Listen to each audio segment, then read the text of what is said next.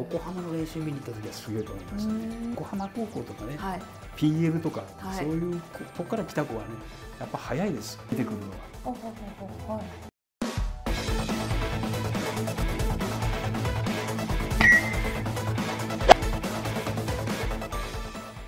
学生時代磯野を使っててお世話になってて磯野ですよ。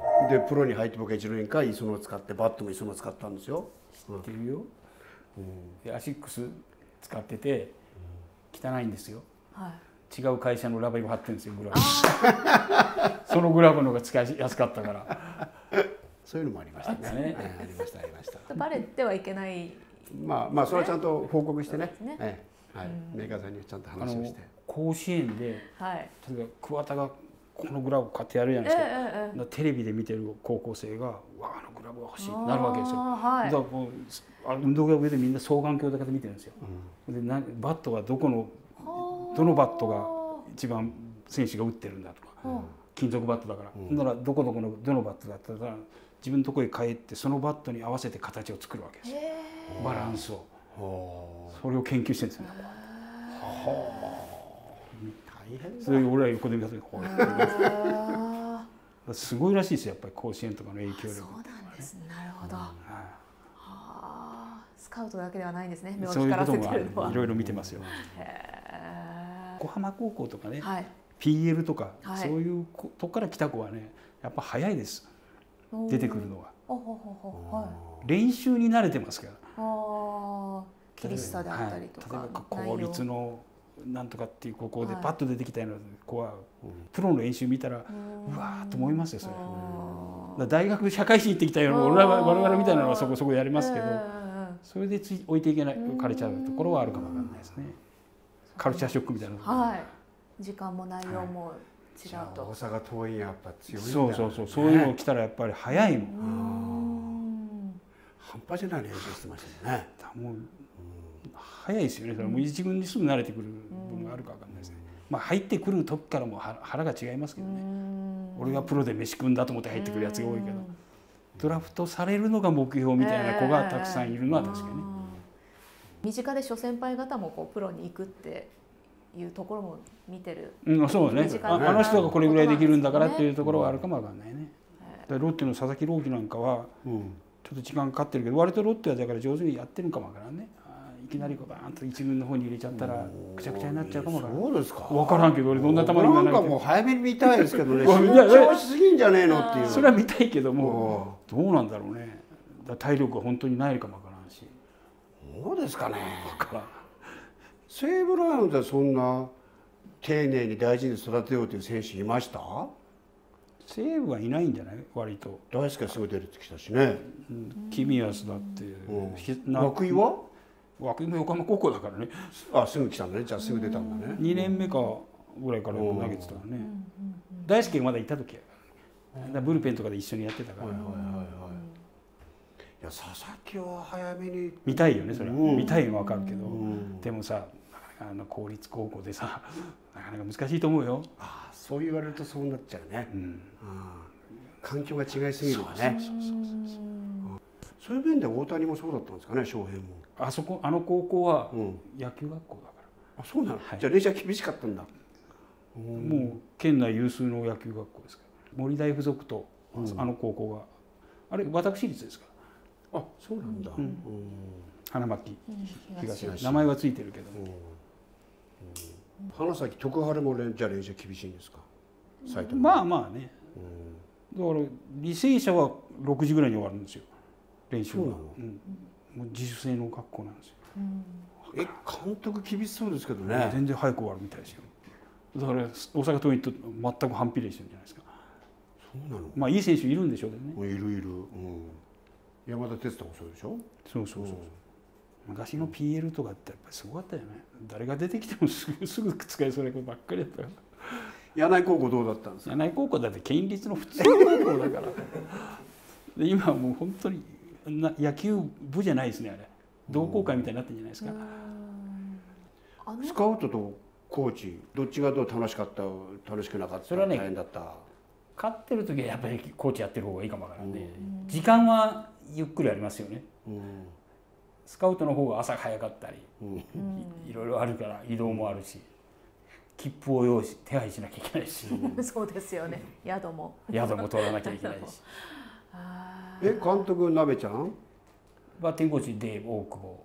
ああデーブがいたんだ。はい。バッテリー。ピッチングコーチは？ピッチングコーチは小野左ピッチャー。でああ近鉄にいた。そうですね。はいはいーはあの数黒井さんがヘッドコーチ。黒江さん。ヘッドコーチ。バッティングコーチは大久保でしょ？あバッテリーコーチ、バッテリーは相馬相馬。あ相馬。相馬さんですね。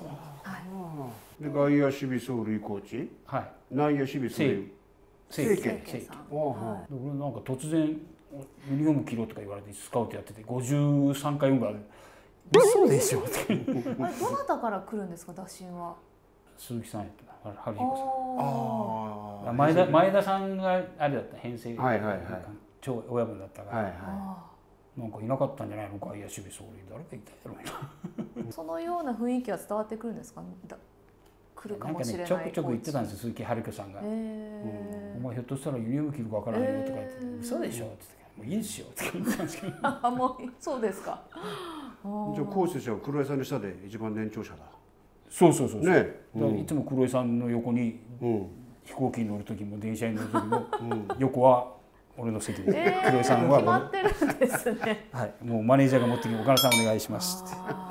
監督の横に座ればいいのにさ。あはははははは。監督はいつも塩崎か。ああ塩崎もいたんかピッチングコーチおー。塩崎か小野か。の横に座ってました監督は。うーん俺はいつも黒井さんの横に座ってました、え部屋も隣でした。ええ。黒井さん頼むあよ同盟じゃなかったんですね。同部屋はやめてえコーチの同部屋はちょっと。黒井さんも持ってるんですねじゃあね。すごいですよ。どこ行っても優勝するんですよ、ね。うん、からん不思議だけどジャイアンツ行っても大英行ってもそう。優勝するんですよ、持ってる人なんですよこの人長続きしないけど。何年かしたらいなくなっちゃうんですけど。ご本人は常に勝ってるんですね。本当にすごいですよ。なんか持ってる人なんですよ。渡辺監督の1年目で、はい。まああの岡村さんもはい。1年目でしたけれども、どういう雰囲気でしたか？もうだから監督が選手でやってた頃のまんまですよね。どっちかというとイケイケ野球ですよねまあ確かにもう勢いがあっはい。て、ミスしてもあんまり攻めないみたいな。は監督腹の中で怒ってるんですよ。ああのベンチあ。あのいっぱい壊してました。かああーそうですか。あ 破損はしてるんですらね。はいはい。あーでも確かにこう何かガーって言ってるようなっていうところを見かけた覚えもないですし、まあもちろんその裏ではどうだったかっていうのはありますけども、基本的にでもそういう雰囲気は貫いてですね。いらっしゃいそんな感じはしたしたけどね。本人はやっぱりカリカリしてたんでしょうけどね。ね。鍋ちゃんはねうん。多分俺とよう似てんですよ、おう。ん、あっさりさっぱりタイプなんですよ。あであれも多分ガーッと熱くなると思うんだよね、はいはいまあええ。冷めやすいところもあるし、うカラーってしてもちょっと何何分かすると普通に戻ってます。うんそういうタイプですね。うん。割と冷静ですよ。うん。やってることはぱ二軍監督ずっとやってたからこういろいろこうサインとかも全然自然に出しますしね。ええ鍋ちゃんが編成 GM になると思わなかったね。一番遠い人かと思ってね。あのじない若い時のことを知ってるだけに。うん。日本一っていううん。日本一の監督っていう称号はやっぱり聞くんですかね。そうかなどうかな。あと34年やったけどダメだったんだよね。そうですね、その後トータル6年,、うん。6年やあったののでしたけれども、4位2位3位2位そうだよ2位、ねはい。なんかオーナーとやっぱ馬があったんじゃないですかね。うん。なるほど、うん。でもあの年のあの優勝日本一は必然でしたか？まあでもいい選手はいましたよねやっぱね、打線もまあまあはい、良かったし、うん、チームで198本塁打打ってますし、198本持ったの？はい、うん。バッティングコーチがデーブ・オクロだから。ね。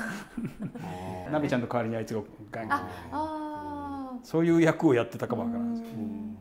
これはあの横でこうやってやってる。キャッチャー出身のバッティングコーチだったからなんかそういうところも。どうなんですかね？キャッチャーしてこいつあんまりキャッチャーやってないんだよあジャイアンツ行ってやってる、ねああそうなんですね、うん。西武ではほとんどやってないですね。あなるほどなるほど選手にこう打席に向かうところでこう一言二言言う言葉がなんかすごく効果的まあ腹が据わるような言い方はしてたと思いますね。もうこの球狙っていけってこれ打てなかったら俺が責任取るからっていうような言い方はしてたと思います。なるほどそれを守んなかったら怒ってます。あ これ打ててたわって言ってますけど。あデーブさんのリアクションっていうのは一番大きかったかもしれないですねあと振らしてましたよやっぱ。うーんアーリーワークが始まったのもここですよね。名付け親かデーブは。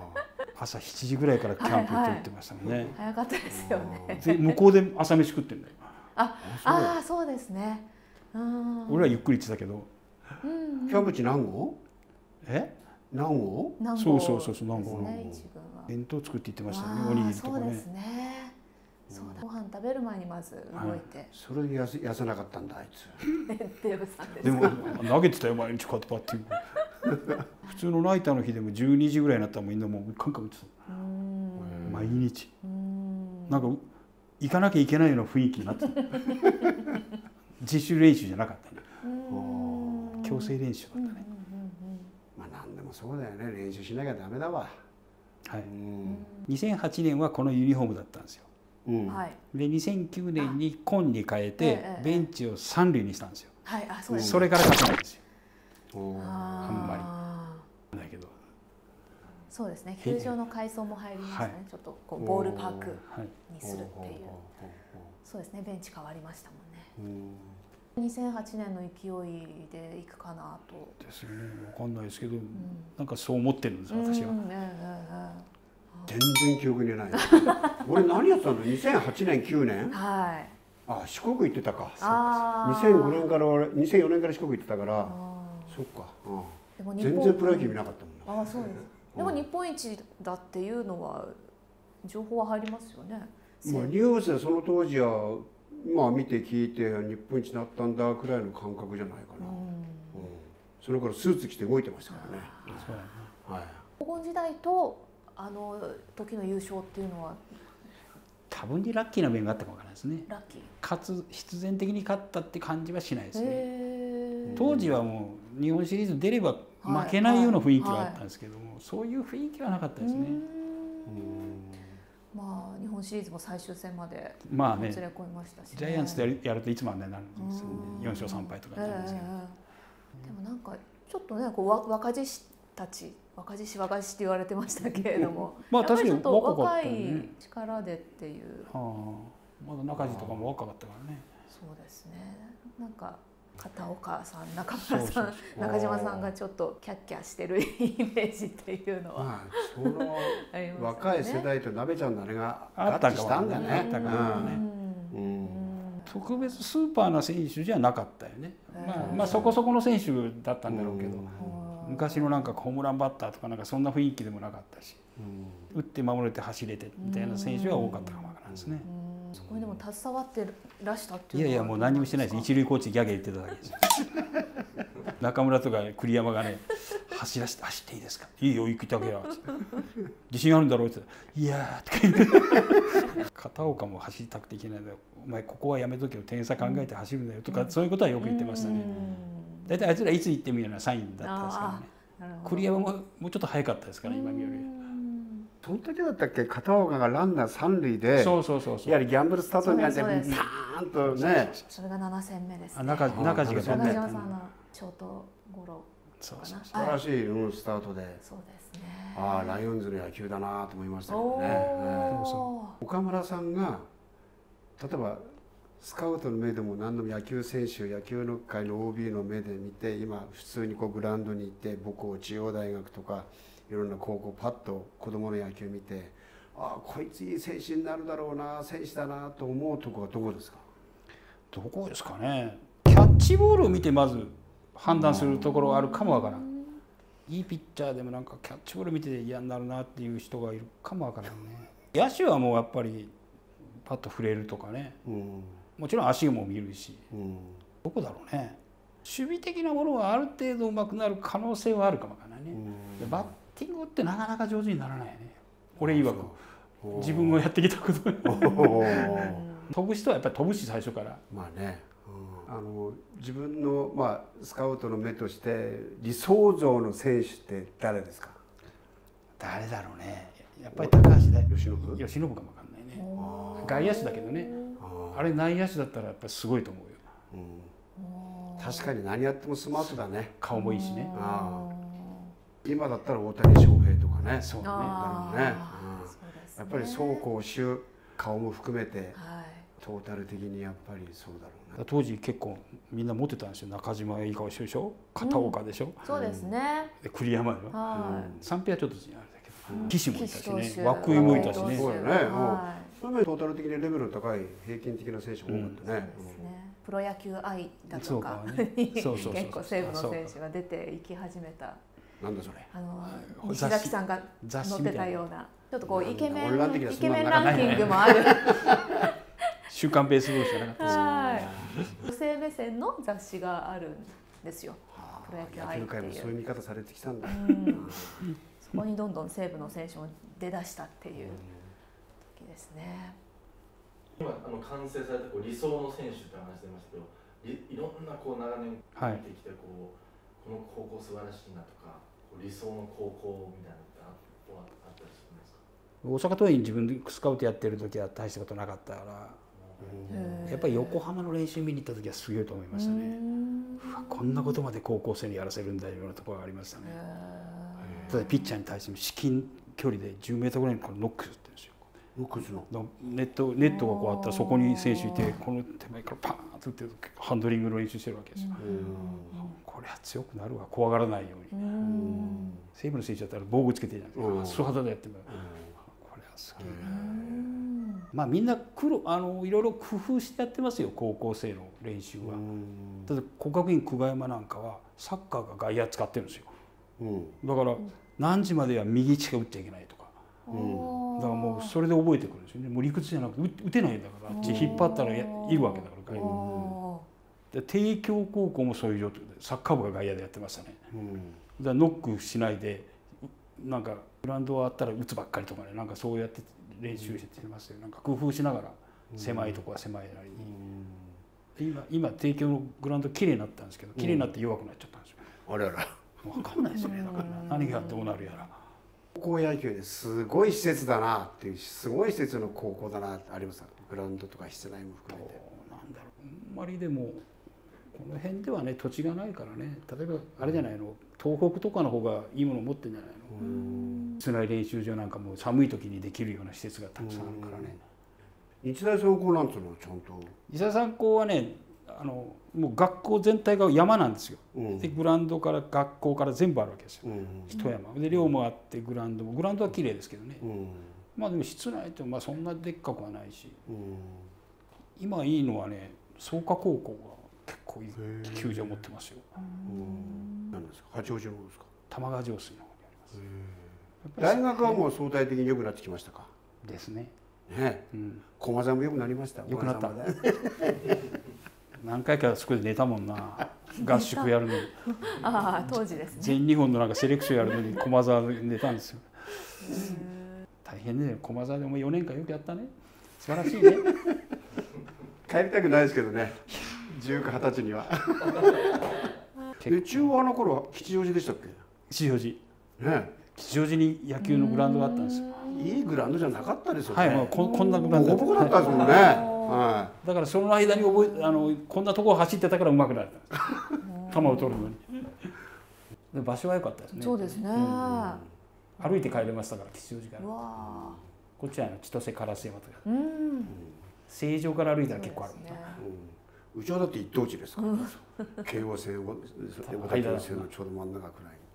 合宿とかなんか全日本のなんかやるときは駒沢のグラウンド使うことが多いんですよ駒沢とか明治のグラウンドええそうでしたね、明治多かったですね、早稲田だってちょうどねし場所はねあのわ早稲田にあったんですからね。早稲田大学の横にあったんですよ。ええそれを売っ払って伏見に来たんですけどね。今週の秋のドラフトでちょっと今気になってるとか、なあのね何か。この間甲子園見てたら一律和歌山。和歌山のピッチャーがよいいよよね。いいかよく感じたね。もう俺も可能性としては北海高校の左ピッチャーもあそうなの？もうあ体でかくてね、え案外球に力があったんですよ。ちょっと荒削りですけど、うん。うん。天理の子もいいけど今一つなんか線が細い感じがした。せ大きな子がいたんでタチタチとかね。立つ。タツタツか。あれどうですか？あの中京大中うん中京あのあのピッチャーはあのガッツがありそうな子やね。あれじゃないのかな？怪我して投げれなくなったピッチャー。黒柳ね？あそうそうそうそう。黒柳、うん。うん後半残って書くやつはいはいはい。気持ちが入ってる、うん気持ちはあるね。うん。そんなピッチャーやね。嫌だねこうやって見てるんだよね甲子園をね。スカウトの目が働いて。あれも相模の左ピッチャーもいいんじゃない？ほとんど点取られてないけど。うん。あとはあれですね。石毛さんは仙台松戸のスリークォーターうもんあれ専修大学行って厄介になりますね駒沢打てないと思いますよ。大丈夫。選手2位だから大丈でも今度はトートの6位7位。夫な何2なの？部の優勝チームと 3, 3つの球入れ替わる。三つどもえ三つどもえなの？それで入れ替えしてやんの、うん。な今7つでやってんの？そうですよ、えー青学が上がってきてます。上がってきて下がんなかったってこ下がんなかった。とあ去年のあのコロ,、うん。コレラのあコロナの関係で。で今青学が2位ぐらいじゃないですか中央1位青学2位じゃなかったかな。立正駒沢がダメですね。へ立正が1勝5敗から駒沢が1勝3敗4敗くらいです、えーご覧になっていただいてありがとうございます、えーお願いございます。まずチャンネル登録をお願いします。そしていいねもついでによろしく。それでいろんなこと思ったら俺こう思うよ。いいねとかいろんなものあるでしょうからコメントもよろしくです